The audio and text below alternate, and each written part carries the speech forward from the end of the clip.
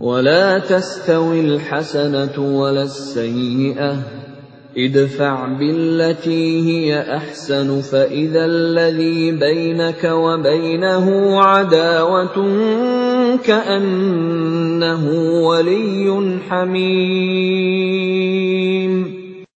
Dan tidaklah sama kebaikan dengan kejahatan. Tolaklah kejahatan itu dengan cara yang lebih baik, sehingga orang yang ada rasa permusuhan antara kamu dan dia akan seperti teman yang setia.